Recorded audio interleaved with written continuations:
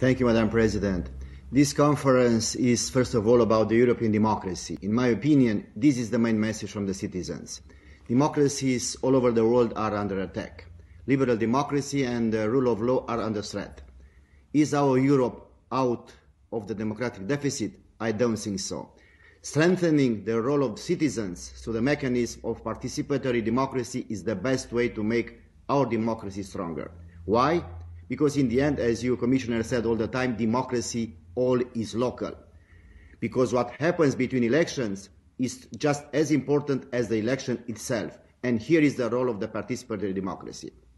I strongly support the position of the President of, of the Committee of the Regions, Apostolos Tzitzikostas, on active subsidiarity.